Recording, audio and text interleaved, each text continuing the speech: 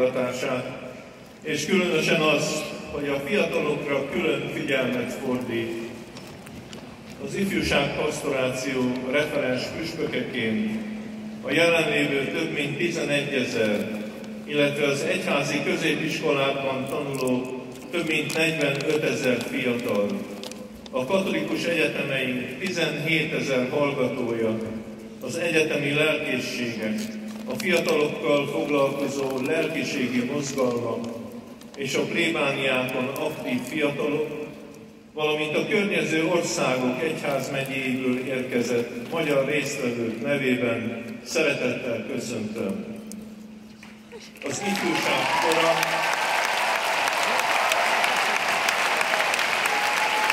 az ifjúság kora a nagy kérdések ideje. Mi az élet értelme? Mi az én utam az életben? Hogyan leszek boldog? Miért van szenvedés és halál? Van-e örök élet? De a fiatalság ugyanakkor a nagy válaszok ideje is. Nem nekünk felnőtteknek kell a válaszokat megadnunk, hanem az a feladatunk, hogy segítsünk nekik megtalálni azokat.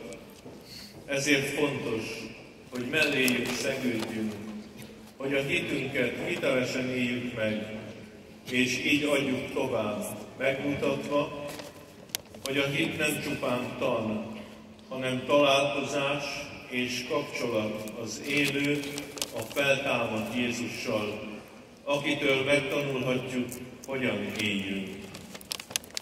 Biztató tudni, az ifjúsági színódus kapcsán készült országos felmérésből, hogy a gyakorló katolikus fiatalok nagy többsége ismer olyan személyt az egyházon belül, akihez bizalommal fordulhat személyes ügyben, az életét érintő kérdésekkel. Az is látszik, hogy a fiatalok fogékonyak az elesettek, szegények támogatására, szívesen vesznek részt karitatív kezdeményezésekben, ha bátorítást kapnak hozzá, és hogy ez a generáció már sokkal érzékenyebb a teremtés védelem kérdéseire is. A Lisszaboni ifjúsági világ, világ találkozóra készülve Máriára, égi édesanyánkra tekintünk, akit mi magyarok nagyasszonyaként is tisztelünk, és kérjük közbenjárását, segítségét, hogy mi is készségesek legyünk, sietve elindulni és tenni a jót. Szent Atya, köszönjük, hogy velünk van, hogy segít megtalálni a Jézusi válaszokat. Köszönjük, hogy együtt járhatjuk életutunkat. Isten hozta, Isten éltesse.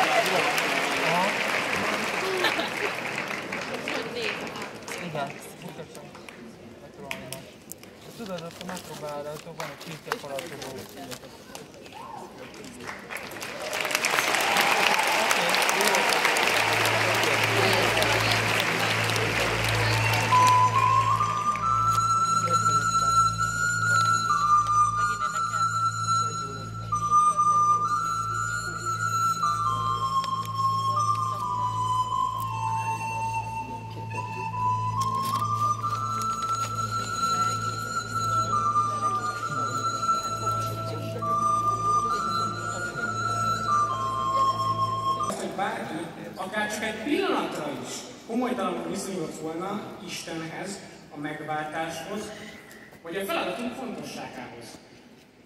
Aztán a többi jött magától, első áldozás, cserkészet és a legutóbb vérmárkozás, ami eddig életem fúzpontja volt.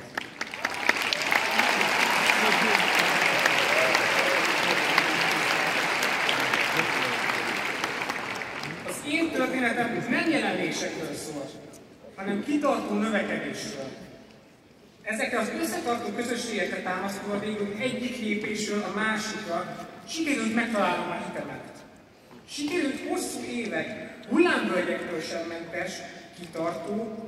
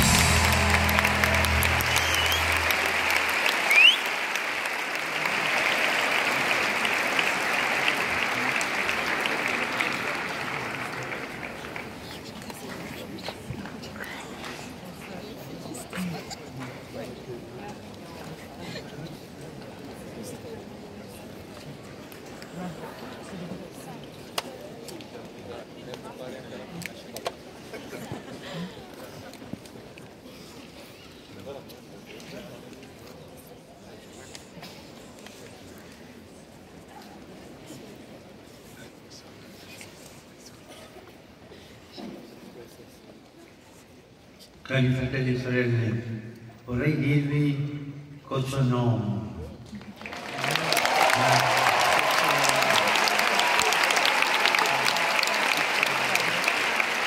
Grazie per la danza, grazie per il canto, per le vostre testimonianze coraggiose e grazie a ciascuno per essere qui.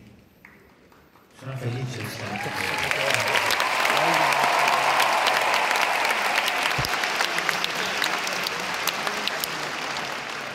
Monsignor Perez ci ha detto che la gioventù è tempo di grandi domande e grandi risposte.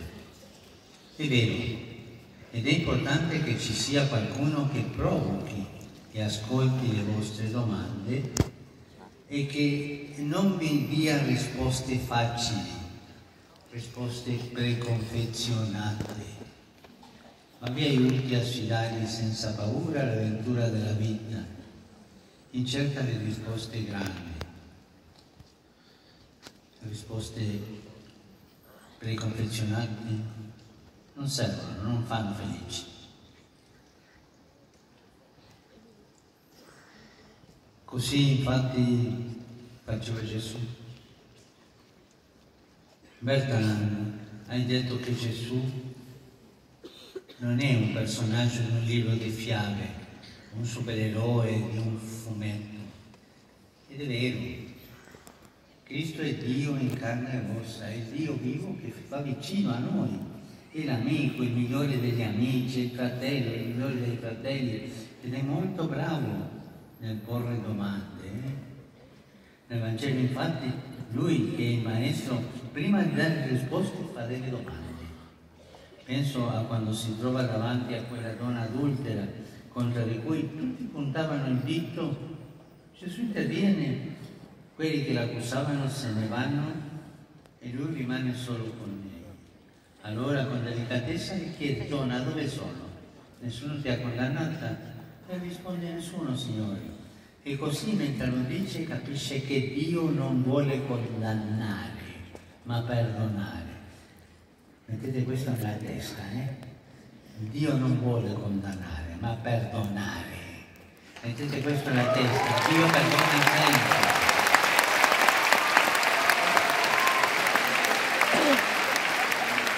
Dio perdona sempre. Come si dice Dio perdona sempre? Tu che sei il traduttore, come si dice? Fallo dirlo a loro.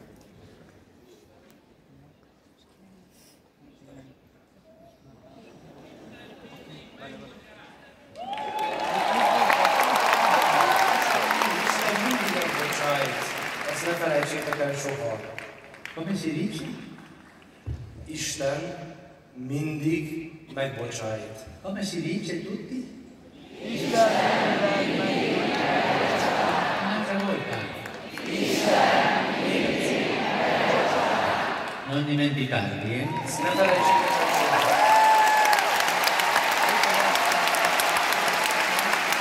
E Lui è pronto a rialzarci ad ogni nostra caduta. Con Lui perciò non dobbiamo mai avere paura di camminare e andare avanti nella vita. Pensiamo anche a Maria Maddalena che al mattino di Pasqua fu la prima a vedere Gesù risorto. E ne aveva una storia quella, eh? ma è stata la prima a verlo. Lei era in lacrime accanto alla tomba vuota di Gesù e gli domanda, donna perché piangi? Chi cerchi? E così toccata sul vivo Maria di Magdala apre il cuore e racconta le sue angosce, rivela i suoi desideri e il suo amore. Dove è il Signore? E guardiamo il primo incontro di Gesù con quelli che diventano i suoi discepoli. Due di loro, indirizzati da Giovanni Battista, gli vanno indietro. Il Signore si volta e fa un'unica domanda. Che cosa cercate? Anche io, anche io faccio una domanda, ma ognuno la risponde nel cuore. Dopo che io faccio la domanda, facciamo silenzio. Szeretnék valamit tőletek kérdezni, de a választ azt mindegyiketnek a szívetekben adjátok meg. Csendben. La mia domanda è, che cosa cercate? Che cosa cercate nella vita? Che cosa cercate nel tuo cuore? Mi az, amit igazából az életben kerestek? Mi van a szíved mélyén, amit igazából keresel? In silenzio ognuno risponde dentro di sé. Csendben válaszoljatok erre a kérdésre. Che cosa cerco io? Mi az, amit én keresek?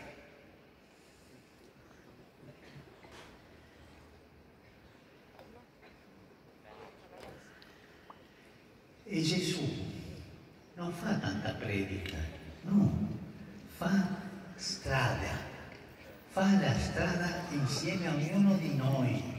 Gesù cammina a ognuno di noi. Non vuole che i suoi discepoli siano scolari che ripetono una lezione, ma lui vuole che i discepoli siano giovani liberi e camminino, compagni di strada di un Dio che ascolta, che ascolta i loro bisogni ed è attento ai loro sogni. Poi, dopo parecchio tempo, due giovani discepoli scivolano malatamente. Perché i discepoli di Gesù hanno scivolato tanto? Eh? Fanno Gesù una richiesta sbagliata, cioè di poter stare alla sua destra e alla sua sinistra quando lui diventerà re. E volevano arrampicarsi questi, no? Eh, ma è interessante vedere che Gesù non li rimprovera per aver ossato. Non dice loro come vi permettete di smettere di sognare queste cose. No, Gesù non abbatte i loro sogni, non abbatte, ma li corregge sul modo di realizzarli. Accetta il loro desiderio di arrivare in alto, è buono per loro, ma insiste su una cosa da ricordare bene, non si diventa grande scavalcando gli altri, ma basandosi verso gli altri, non a discapito degli altri, ma servendo gli altri. Io vorrei ripetere questo, e vorrei ripetere, e dirò al traduttore che gentilmente lo ripeta. eh. Quello che dice Gesù, come ci corregge, ci ricorda che non si diventa grandi scavalcando gli altri, ma abbassandosi verso gli altri. Non si diventa grande a discapito degli altri, ma servendo gli altri.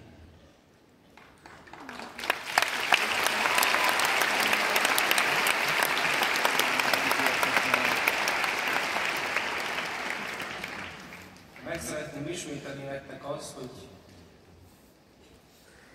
nem,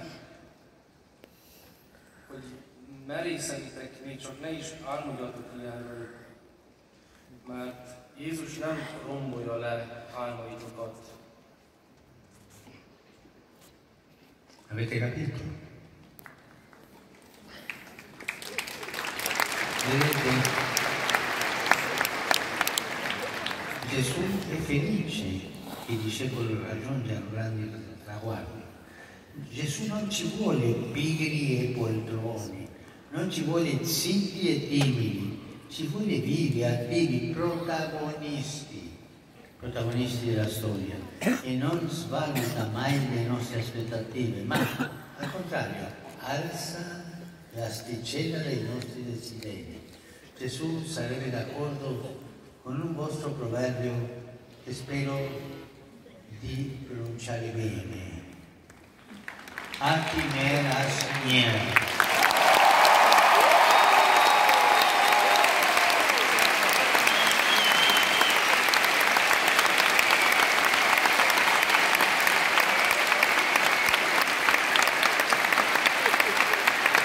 Voi potete domandarmi come si fa a vincere nella vita, essere vincitori nella vita.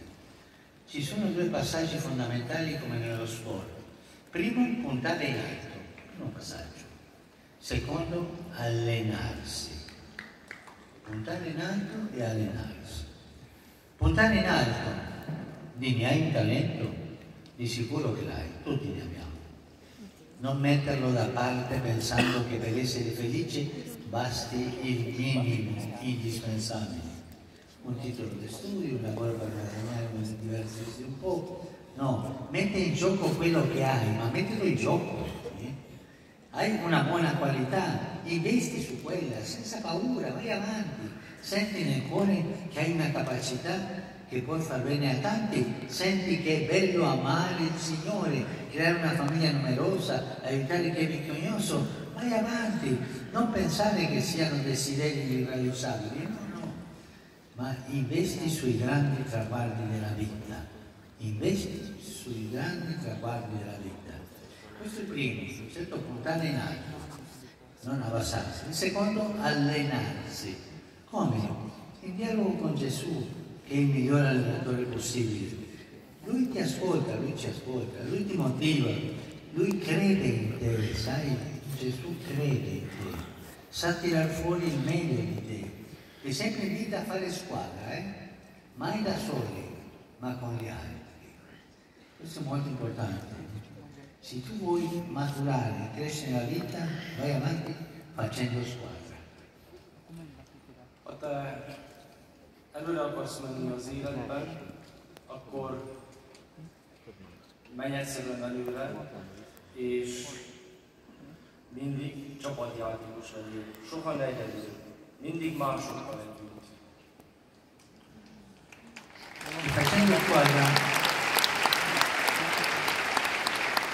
Nella comunità, vivendo esperienze comuni.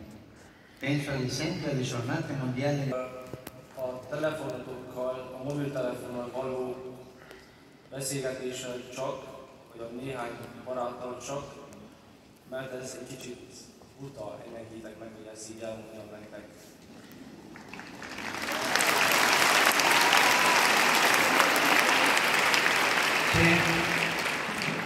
Poi un elemento importante per allenarsi. E tu Cristina ce lo hai ricordato dicendo che tra mille corse, tanta frenesia e velocità, c'è una cosa essenziale che manca oggi ai giovani e poi agli adulti. eh? Hai detto non ci concediamo il tempo per il silenzio nel rumore, perché abbiamo paura della solitudine e poi ogni giorno finiamo per essere stanchi. Come hai detto tu Cristina, eh? grazie. Vorrei dirgli in questo non abbiate paura di andare controcorrente. Trovare un tempo di silenzio ogni giorno per fermarvi e pregare. Oggi tutto vi dice che bisogna essere veloci, efficienti, praticamente perfetti come delle macchine. Ah, cari, noi non siamo macchine. Ma poi ma poi ci accorgiamo che spesso finiamo la benzina e non sappiamo cosa fare. Fa tanto bene sapersi fermare per fare il pieno, per ricaricare le batterie. Ma attenzione, non per immergersi nelle proprie malinconie o rimuginare sulle proprie tristezze non per pensare che mi ha fatto questo o quello, facendo teorie come si comportano gli altri. No, questo non fa bene, eh? questo è un veleno, no, questo non si fa. Il silenzio è il terreno su cui coltivare relazioni benefiche, perché permette di affidare a Gesù ciò che viviamo, di portargli volti e nomi, di gettare in Lui gli affanni, di passare in rassegna gli amici e dire una preghiera per loro. Il silenzio ci dà una possibilità di leggere una pagina del Vangelo che parla della nostra vita, di adorare Dio ritrovando così la pace nel cuore. Il silenzio permette di prendere in mano un libro che non sei costretto a leggere, ma che ti aiuta a leggere l'animo umano, di osservare la natura per non stare solo a contatto delle cose fatte dagli uomini e scoprire la bellezza che ci circonda. Ma il silenzio non è per incollarsi ai cellulari e ai social, no, per favore, la vita è reale, non virtuale, non avviene su uno schermo, la vita avviene nel mondo. Per favore, non virtualizzare la vita.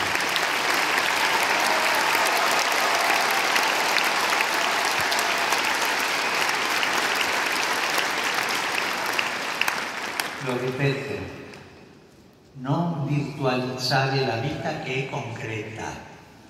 Ismétlem, hogy ne virtualizáljátok az életet, mert az élet az valódi, nem virtuális.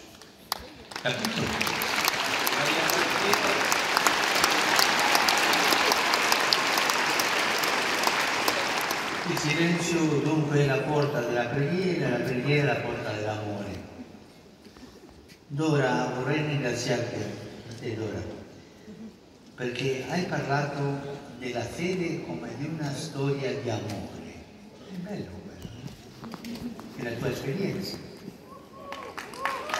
Dove giorno in questa storia d'amore affronti le difficoltà dell'adolescenza ma sai che c'è qualcuno con te, qualcuno per te e che quel qualcuno, Gesù, non ha paura di superare in te ogni ostacolo che incontri. La preghiera aiuta, a fare questo, perché dialogo con Gesù, come sì, come la messa è incontro con Lui, la confessione è l'abbraccio che si riceve da Lui. Mi viene in mente il vostro grandissimo musicista Ferenc Liszt.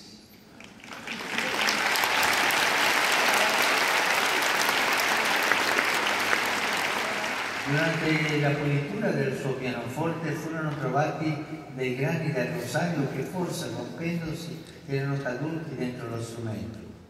È un indizio che mi va a pensare come prima di un componimento o di un'esecuzione, magari anche dopo un momento di divertimento al pianoforte, fosse abituale per lui pregare. Parlava al Signore, parlava alla Madonna di ciò che amava e metteva la sua arte i suoi talenti nella preghiera. Pregare non è noioso.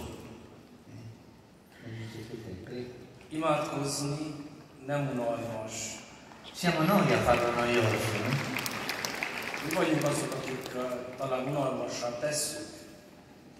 Pregare un incontro, un incontro col Signore, è bello quello. Imádkozni nem lehet más, mint találkozni. Találkozás az Úrral. Ez egy nagyon szép dolog.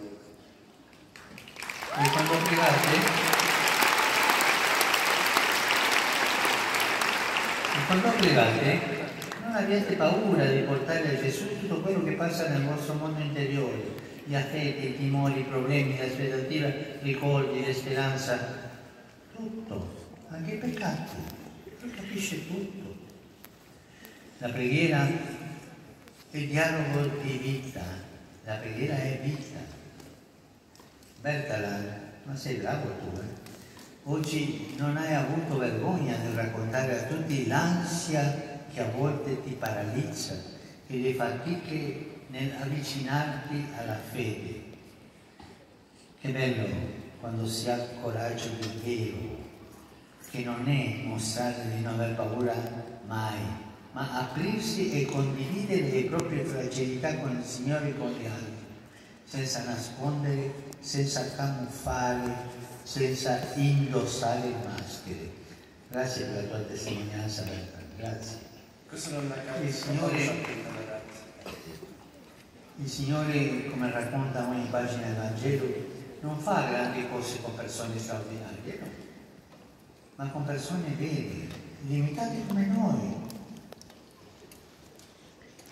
Invece chi si basa sulle proprie capacità e vive di apparenze per sembrare a posto, tiene lontano Dio di cuore perché si occupa di se stesso soltanto.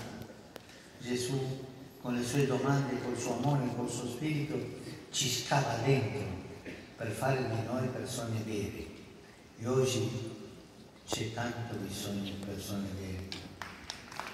Tanto.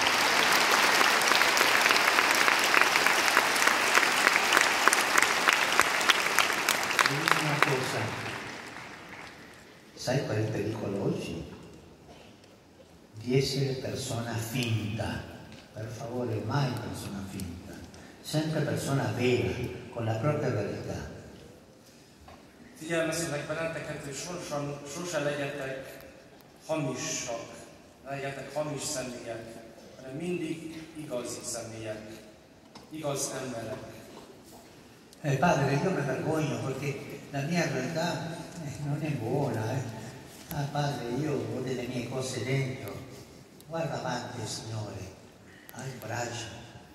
Il Signore ci vuole come noi siamo, come siamo adesso. Ci vuole bene così. Coraggio e avanti. Non spaventarti delle proprie miserie. Talán azt mondanátok, hogy atyám, de annyi szenny van bennem, és szégyellem magam. Arra biztatok benneteket, hogy menjetek előre az Úrral. Mindig menjetek előre. E a questo proposito,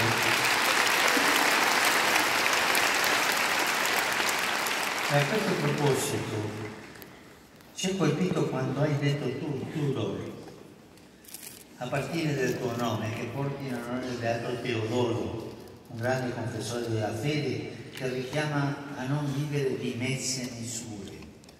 Hai voluto far suonare la sveglia, dicendo che lo zelo per la missione è anestetizzato dal vostro vivere nella sicurezza e nell'agio, mentre a non molti chilometri da qui la guerra e la sofferenza sono all'ordine del giorno.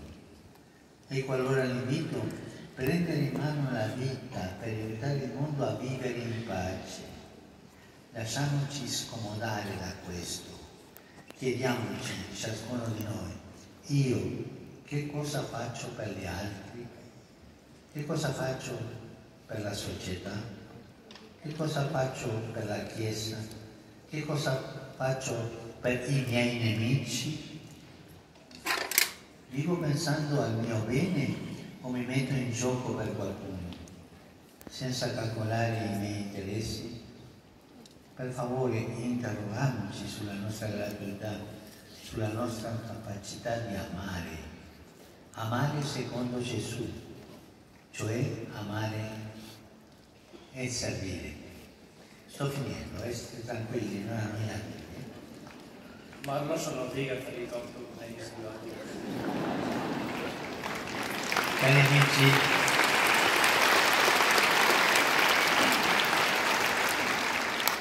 c'è un'ultima cosa che vorrei condividere con voi. Una pagina del Vangelo che riassume quanto ci siamo detti. Un anno e mezzo fa ero qui per il congresso eucaristico. Nel Vangelo di Giovanni, capitolo sesto, c'è una bella pagina eucaristica che al centro un giovane racconta di un ragazzo che era nella folla ad ascoltare Gesù. Probabilmente sapeva che l'incontro sarebbe andato per le lunghe ed era stato previdente. Aveva portato con sé il pranzo. Voi avete portato un panino? Hoztatok-e magatokkal valamit enni? E questo gli ha portato il pranzo. Ma Gesù sente compassione per la folla, erano più di 5.000, e vuole sfamare. Allora nel suo stile fa domande ai discepoli per sbloccare le loro energie. Chiede a uno di loro come fare arrivare una risposta da ragionieri. 200 denari di pane non sono sufficienti, neppure perché ognuno possa ricevere un pezzo come a dire magicamente impossibile. Un altro nel frattempo vede che quel ragazzo gli fa una constatazione, ma ancora una volta pessimistica. C'è qui un ragazzo che ha cinque panni di orso e due pesci. Ma che cosa è questo per tanta gente? Invece Gesù con quei cinque panni e due orsi basta, a Gesù bastano e avanzano per compiere il famoso miracolo della moltiplicazione dei pani. E A ognuno di noi, con le piccole cose che abbiamo, anche con i nostri peccati a Gesù bastano. Noi cosa dobbiamo fare? Lasciarlo nelle mani di Gesù e questo basta. Elég a vétkeinket, vagy bűneinket Jézusra bízunk az ő kezében. Ez teljesen elég ahhoz, hogy tovább menjünk.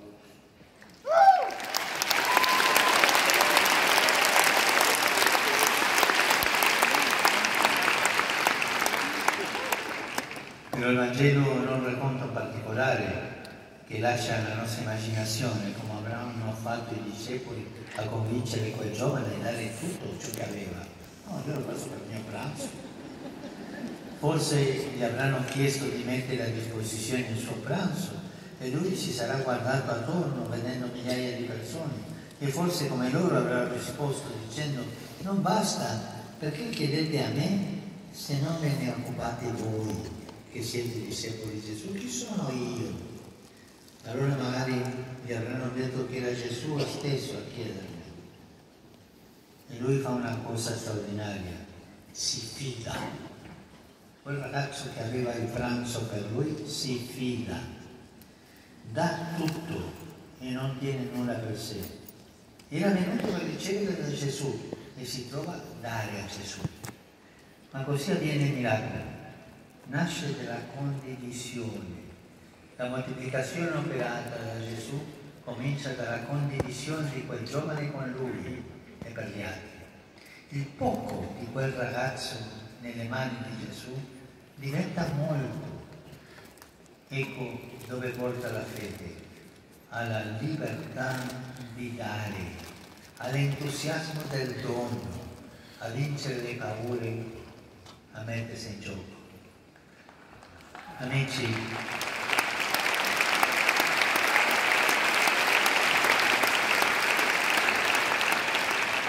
e finisco con questo.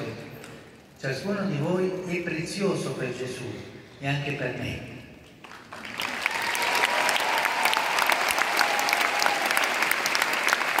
Ricordate che nessuno può prendere il tuo posto nella storia del mondo, nella storia della Chiesa. Nessuno può prendere il tuo posto. eh. Nessuno può fare quello che solo tu puoi fare. Aiutiamoci allora a credere che siamo amati e preziosi, che siamo fatti per cose grandi. Preghiamo per questo e incoraggiamoci in questo. Ricordatevi anche di fare del bene a me con la vostra preghiera. Poi shalom.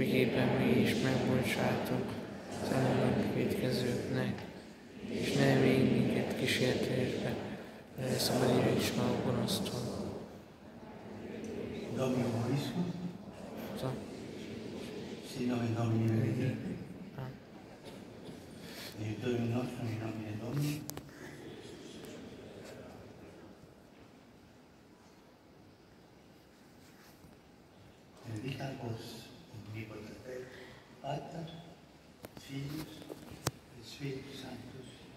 Amén.